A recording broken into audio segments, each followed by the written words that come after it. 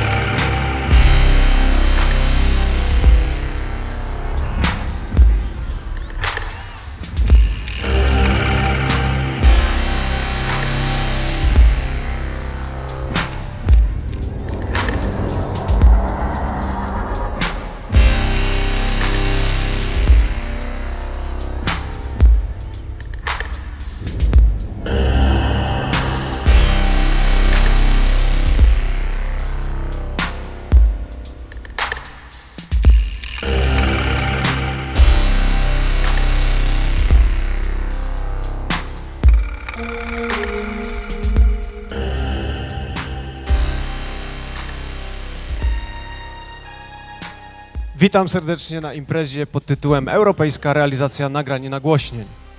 W szczególności na początek chciałem przywitać panią wiceprzewodniczącą Rady Miasta, panią Cecylię Gładysz, dyrektora Zespołu Szkół Ponadgimnazjalnych nr 4 imienia Piotra Latowski, pana doktora Henryka Markowskiego. Witam zaproszonych gości, zaproszone klasy gimnazjalne naszych szkół gimnazjalnych. Witam naszą młodzież Zespołu Szkół Ponadgimnazjalnych nr 4 w Rudzie Śląskiej imienia Piotra Latowski. Na pewno zdziwiliście się tą zapowiedzią, która była przed chwilą. Była to zapowiedź koncertu zespołu Tangerine Dream z, z roku 1983 z warszawskiego Torwaru, a dwa dni wcześniej ten sam Tangerine Dream wystąpił w Zabrzu. Był to pierwszy koncert, na którym udało mi się być, jako małe dziecko. E, ma to duże znaczenie w kontekście dzisiejszej imprezy, ponieważ e, koncert ten zrobił na mnie naprawdę duże wrażenie. E, cztery lata później byłem na koncercie innego zespołu, bardzo popularnego wtedy, zespołu neoprogresywnego Marillion w 1987 roku. I byliśmy tak zaaferowani tym koncertem, że drogę z Zabrza, z, z hali na Matejki, przebyliśmy pieszo do Wirku tutaj. Kilka lat później udało mi się być na innych koncertach, między innymi zespołów Tangerine Dream, ponownie w Zabrzu, Deep Purple, e, też w Zabrzu, w świetnym składzie z Richiem Blackmurem. Potem nadszedł rok 94, pierwszy mój tydzień pracy w szkole na e, Tołstoja. E, przyszedłem do ówczesnej naszej poprzedniej pani dyrektor Małgorzaty Gajewskiej z biletem na koncert zespołu Pink Floyd w Pradze z taką nieśmiałą, nieśmiałym zapytaniem, czy będę mógł być zwolniony z dwóch dni, ponieważ koncert odbywał się w środku tygodnia e, z pracy, a jako, że był to mój pierwszy tydzień w pracy w ogóle, więc byłem troszeczkę zaniepokojony. Natomiast pani dyrektor oczywiście e, doceniła wagę tego, tej, tej imprezy i zezwoliła mi na wyjazd i byłem na koncercie Pink Floyd. Jest to wydarzenie, można powiedzieć, które wspominam do dziś. Potem było wiele, dużo różnych innych koncertów.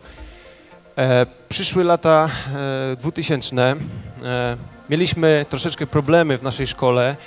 E, niewiele brakowało, że naszej szkoły by nie było po prostu. I udało nam się z panem dyrektorem e, wymyśleć taki kierunek, który nazywa się Technik Realizacji Nagrań Nagłośnień.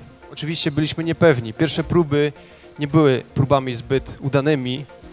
E, nie zrobiliśmy naboru. Natomiast e, w drugim roku już udało się zrobić nabór na, e, do klasy o tym właśnie profilu. Również staraliśmy się pozyskać fundusze po to, aby stworzyć warunki. Za pierwszym razem oczywiście się też nie udało. Od razu jak stworzyliśmy ten pierwszy nasz tą pierwszą grupę utworzyliśmy w tym zawodzie, od razu udało nam się zaaplikować e, o środki z programu Erasmus+, e, a w zasadzie w finalnej fazie końcowej można powiedzieć, że e, z projektu programu operacyjnego Wiedza, Edukacja, Rozwój i zaproponowaliśmy tej młodzieży wyjazd na praktyki zagraniczne do Wielkiej Brytanii. Nie ukrywam, że było to dość e, trudne zadanie, ponieważ konkurencja jest bardzo duża i no jednak udało nam się e, pozytywnie przejść e, fazę, że tak powiem, eliminacji. No i zostaliśmy zakwalifikowani. I stąd też jesteśmy tutaj, stąd też ta nasza impreza, która jest upowszechnianiem, która jest relacją z tego naszego projektu e, technik realizacji nagrań nagłośnień w Europie, czyli europejska realizacja nagrań nagłośnień. E, tutaj warto też dodać przy tej okazji, że stosunkowo niedawno zapadła też decyzja, że będziemy budować u nas studio nagrań w szkole, więc jest to bardzo, e, bardzo cieszymy się z tego powodu. Jesteśmy już teraz w przeddzień e, pewnych formalnych rozwiązań, więc e, warunki są coraz lepsze. Stąd też zwracamy się do młodzieży szkół gimnazjalnych o to, żeby przemyśleć, żeby zaprosić Was, bo to, o czym wspomniałem, jeżeli chodzi o te wszystkie koncerty, o to, to jest pasja. A myślę, że jeżeli ktoś ma pasję, to jeżeli zwiąże swój zawód z pasją, myślę, że osiągnie sukces i będzie szczęśliwy. Zapraszam wszystkich na taki spektakl, myślę, słowno-muzyczno-multimedialny z udziałem naszej młodzieży i życzę pozytywnego odbioru. Dziękuję bardzo.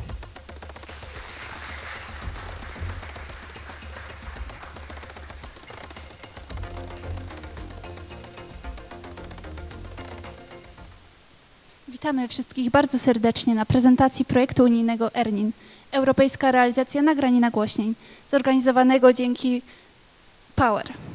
Zarazem chcielibyśmy przybliżyć Państwu kierunek, nasz kierunek realizacji nagrań i nagłośnień w naszej szkole. Oprócz nagrań i nagłośnień zajmujemy się również szeroko rozumianą produkcją dźwiękową, edycją ścieżek filmowych, lektorskich, remiksowaniem. I to jest jedna próbka z naszych możliwości od naszych kolegów, czyli remix Dawida Stacharczaka, Marszu Imperialnego Johna Williamsa.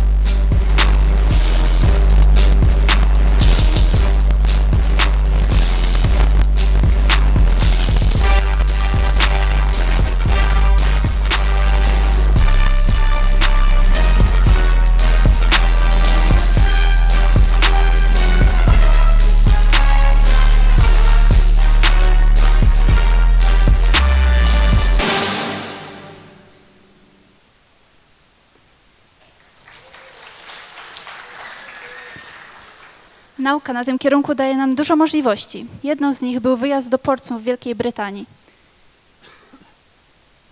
O tym opowiedzą nam nasi koledzy, których serdecznie zapraszamy.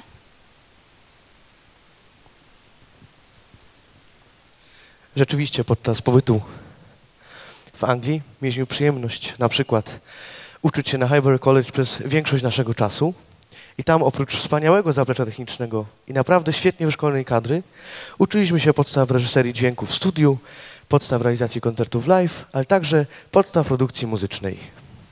Odwiedziliśmy również London Film Academy.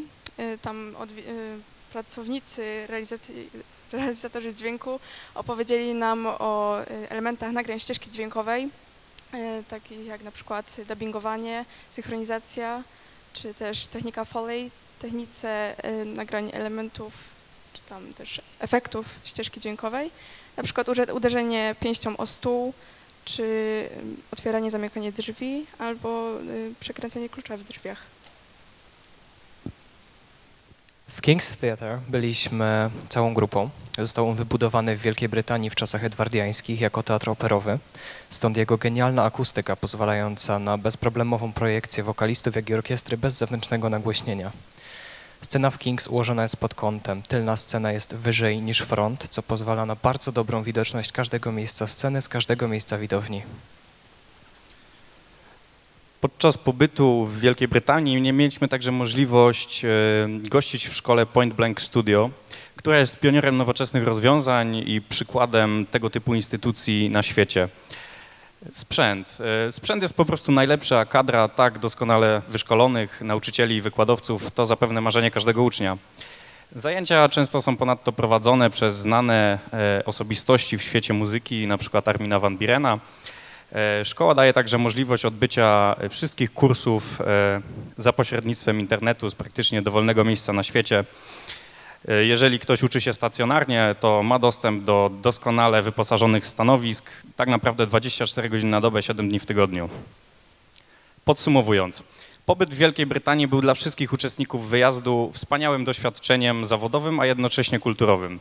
W trakcie pobytu mieliśmy możliwość oswojenia się z językiem, pracy na najnowocześniejszym sprzęcie, a także poznania wielu doświadczonych i wpływowych ludzi w branży muzycznej, którzy przekazali nam bezcenną wiedzę. Z całą pewnością zdobyte tam doświadczenie pomoże nam w dalszym rozwoju. A podróż ta była dla nas szczególnie ważna, gdyż nasz staż odbyliśmy w samym sercu muzycznego świata. Zapamiętamy ten wyjazd na długo. Dziękujemy.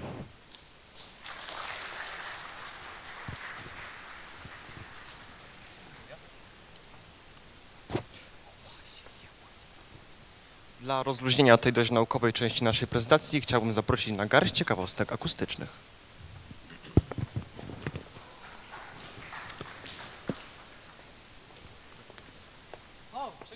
Cześć Michał! O, cześć Olek. Cze jak tam u ciebie? Czego słuchasz? O, posłuchaj sam.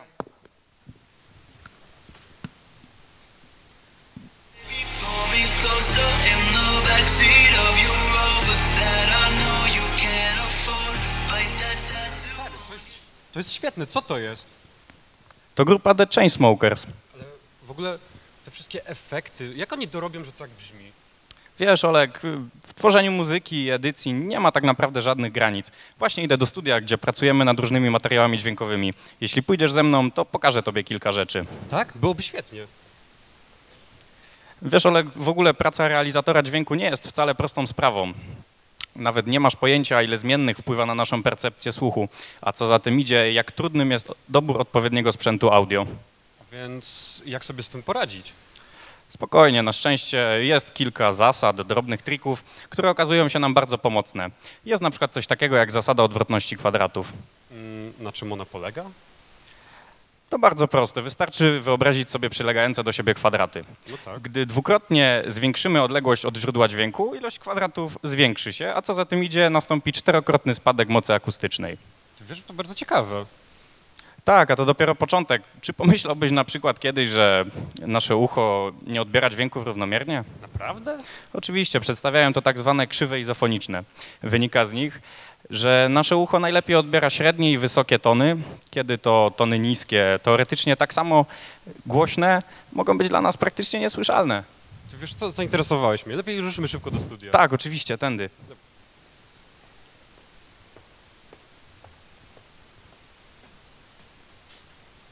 Płynnie przechodząc do części artystycznej, zapraszam do wysłuchania utworu Adele When We Were Young w wykonaniu uczniów naszej specjalności.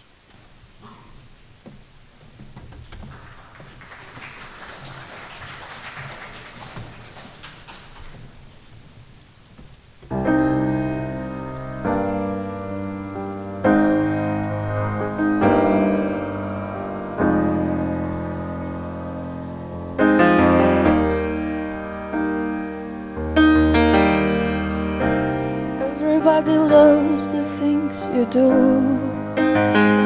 from the way you talk to the way you move. And everybody here is watching you. Cause you feel like home. You're like a dream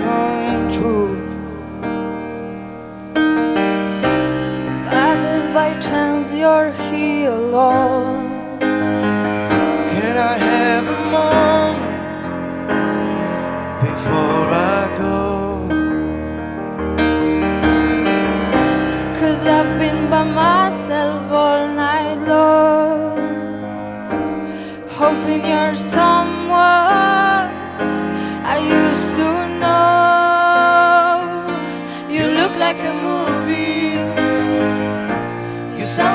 soul. My God just reminds me.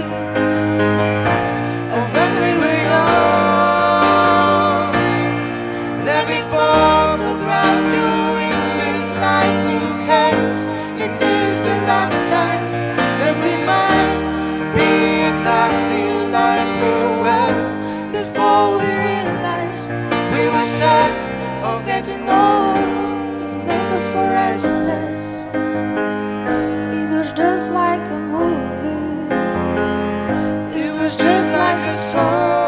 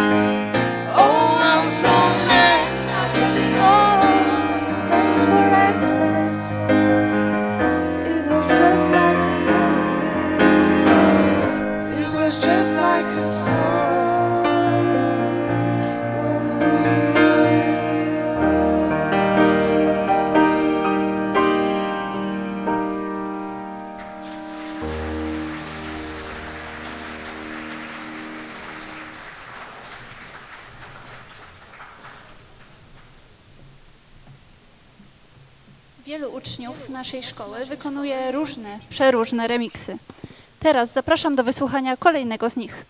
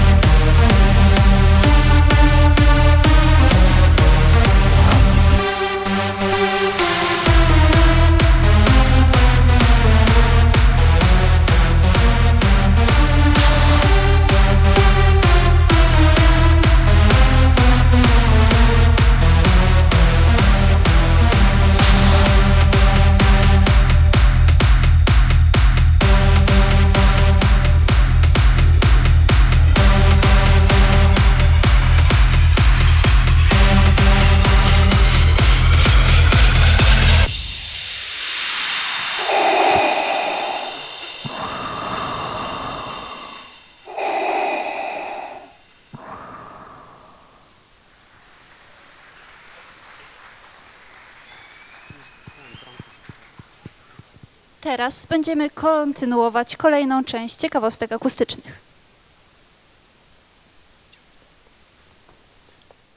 Tędy, tędy Olek. Cześć Robert. Teraz właśnie Robert pracuje nad sesją i pokaże Ci kilka przydatnych sztuczek.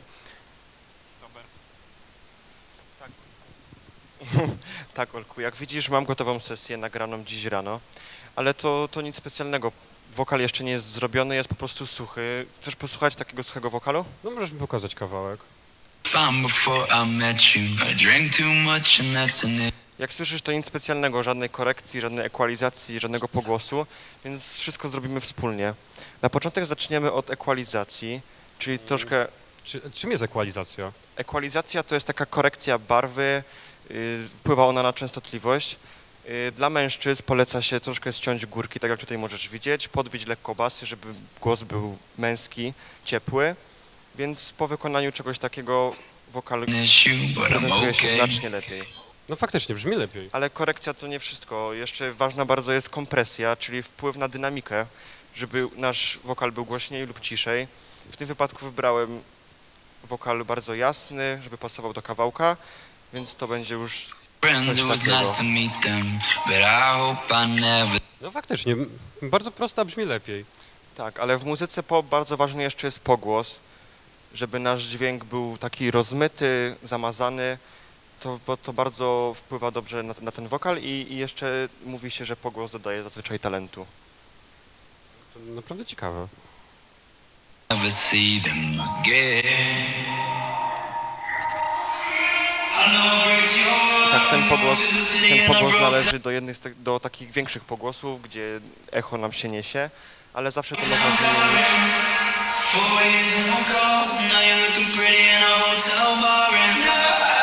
I teraz ten wokal już jest w miarę przyzwoity, ale pewnie wydaje ci się, że wokal to nie wszystko i tak masz rację.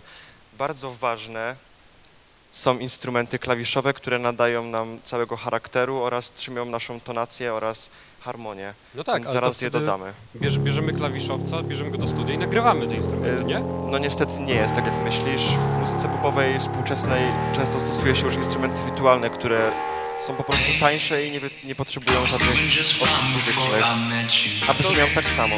To wszystko nie jest nagrane. Nie, to wszystko jest wygenerowane przez program. Nawet ciekawe. Oczywiście bardzo ważny jest rytm, czyli perkusja, którą oczywiście też możemy dodać.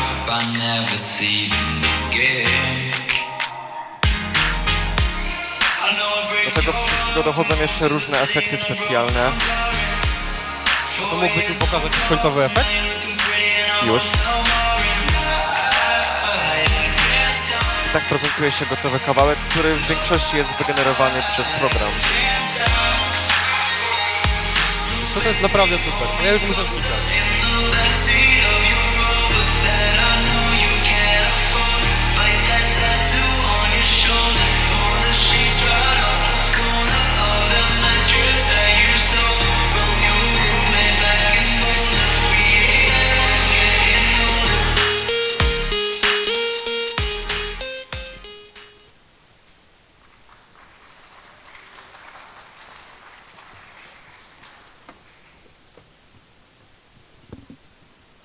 Nasz staż w Wielkiej Brytanii to nie była tylko część naukowa, ale także idealna okazja do integracji. Czas wolny spędzaliśmy zwiedzając wszystkie najciekawsze zakamarki miasta, takie jak muzea, porty czy nawet restauracje. O szczegółach opowiedzą nam uczniowie klasy drugiej. Wiktoria, Nikola, Dominik, Fabian oraz Igor. Zapraszamy.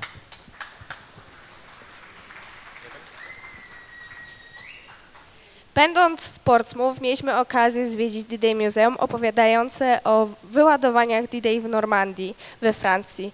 Oglądając to miejsce mogliśmy zobaczyć makiety terenów oraz pomieszczeń, a także różne ym,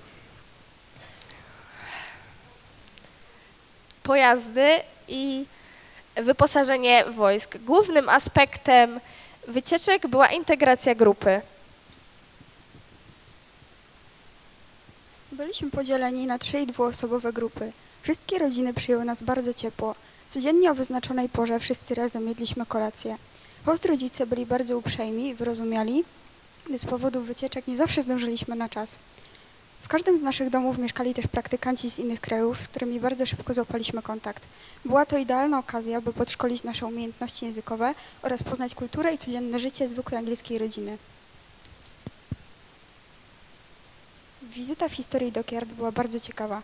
W czasie wycieczki oglądaliśmy zabytkowe i odnowione łodzie, mogliśmy chodzić po pokładach tych statków, zwiedzać część z nich oraz poznać, jak kiedyś wyglądało życie marynarzy na tych jednostkach pływających. Mieliśmy okazję zjeść kolację w jedynej restauracji w Portsmouth bardzo znanego kucharza Jamie'ego Olivera. Podano nam, nam do stołu makarony naprawdę pyszne, prawdziwą włoską pizzę. Była to kuchnia na naprawdę bardzo wysokim poziomie. Ponadto w Wielkiej Brytanii mieliśmy okazję zjeść, smakować różnych smaków świata, takich jak kuchnia chińska czy kuchnia włoska. Jednym z elementów wycieczki było też e, zwiedzenie klasztoru ponad 900-letniego w mieście Winchester, w którym kiedyś przebywał król Artur. Można też tam było zobaczyć stół taki wielki, przy którym kiedyś zasiadał. Myślę, że wyjazd do Anglii to była idealna okazja, aby zintegrować naszą grupę, wykorzystać język angielski, a także poznać dużo, mnóstwo różnych zagadnień związanych z realizacją nagrań i nagłośnień. Dziękujemy.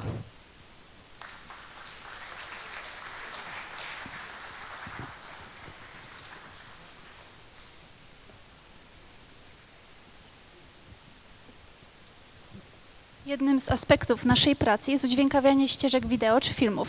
Na efekt takiej pracy zapraszam Państwa w tym momencie.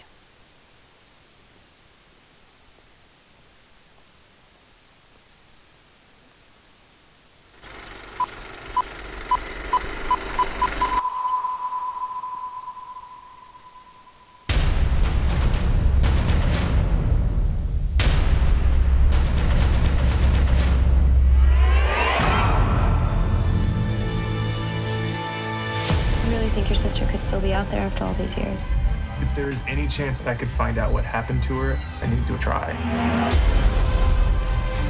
Legend said there's been a curse on these woods.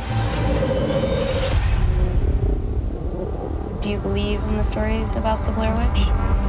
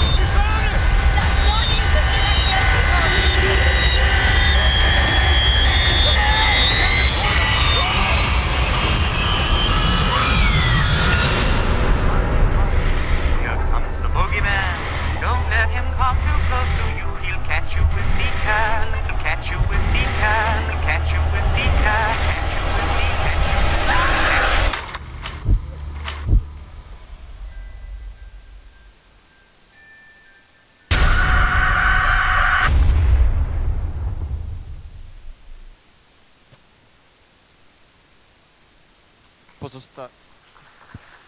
Lubisz koncerty? Muzyka to twoja pasja? Chciałbyś się profesjonalnie zajmować nagraniami muzycznymi? Zespół Szkół Ponadgimnazjalnych nr 4 imienia Piotra Latowski w Rudzie Śląskiej ma coś dla Ciebie. Szkoła prowadzi nabór na kierunku technik realizacji nagrań i nagłośnień. W trakcie nauki dowiesz się m.in. jak organizuje się plan nagłaśniania i rozmieszczania urządzeń nagłaśniających we współpracy z realizatorem dźwięku oraz jak konfiguruje się i obsługuje konsolety mikserskie do realizacji nagłośnienia i realizacji odsłuchu, a także zgłębisz techniki obsługi systemów mikrofonowych. A wszystko to nie tylko w teorii, ale także w praktyce. Z myślą o uczniach tego kierunku organizowane są bowiem specjalne staże w Anglii, gdzie uczniowie mają szansę nie tylko pracować w świetnie wyposażonych studiach nagraniowych, ale także poznać tamtejszą kulturę i posmakować tamtejszego życia. Zapisz się i zdobądź ciekawy zawód.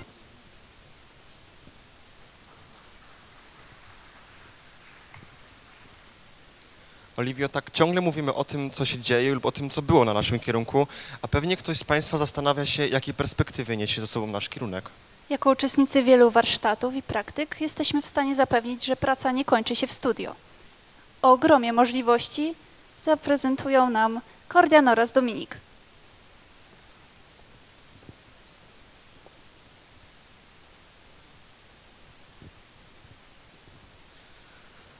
Żeby opowiedzieć o tym, co możemy robić, musimy Wam troszeczkę po- powiedzieć, jak pracujemy, w jakim środowisku się znajdujemy.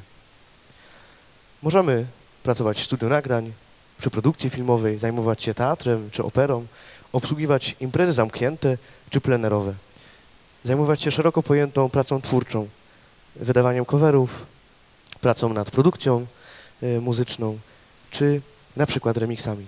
Ważną częścią naszej przyszłej pracy, ale już poniekąd też tego, co robimy teraz, jest własna działalność gos- gospodarcza. Czy to właśnie praca nad dźwiękiem w, w domowym studiu, czy w firmach zewnętrznych.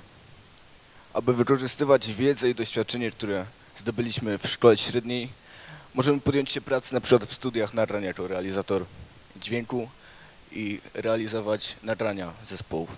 Możemy podjąć się pracy w firmach nagłośnieniowych i organizować koncerty plenerowe, jak i klubowe, zająć się nagłaśnianiem. Możemy podjąć się pracy jako akustyk pomieszczeń, pracować w radiu, telewizji, reklamie lub filmie lub sprzedaży sprzętu hi-fi. Ale możemy również zdobywać dalej nasze, nasze wykształcenie i podjąć się nauki na Oczywiście, wyższych. jeśli ktoś wybierze taką ścieżkę, będzie chciał się dalej kształcić, to na terenie naszego państwa jest wiele dobrych uczelni, ale takie główne znajdują się właśnie w Warszawie, w Poznaniu, w Bydgoszczy czy w Katowicach lub w Gdańsku. Tak. Jeśli mamy już uprawnione kwalifikacje, możemy zacząć pracować na przykład w operze, czy filharmonii, teatrach, w miejskich centrach kultury, w miejskich domach kultury lub założyć własną działalność, zająć się remixami, udźwiękowaniem filmów czy trailery, trailerów filmów. Dziękuję bardzo. Za uwagę.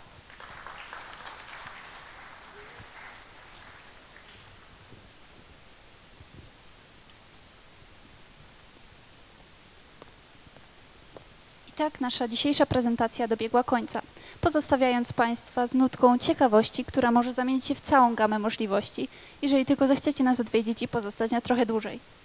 W razie jakichkolwiek pytań jesteśmy do Państwa dyspozycji przed wejściem na salę widowiskową. Żegnamy się z Państwem Oliwia Lipich. Robert Smentek.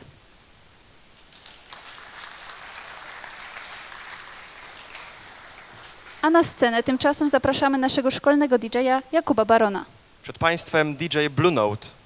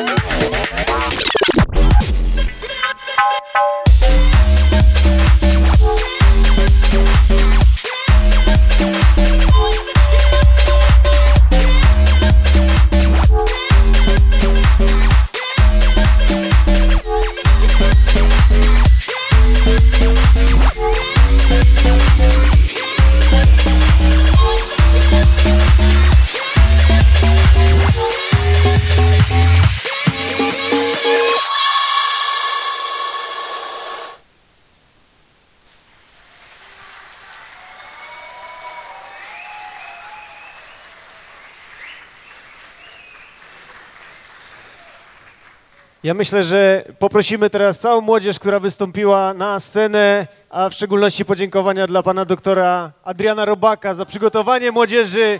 Prosimy bardzo na środek, na scenę wystąpić wszystkich i myślę, że należą się im duże brawa.